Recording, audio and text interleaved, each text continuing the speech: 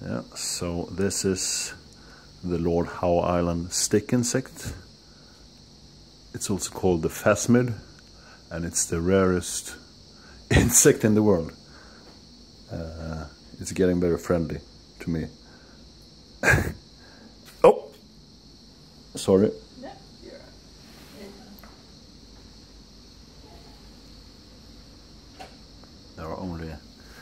A thousand of them and they were uh, almost extinct because of introduced uh, rats or mice or owls, I think.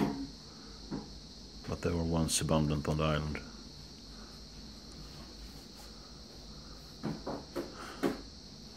Amazing creature. Looks like something from another time.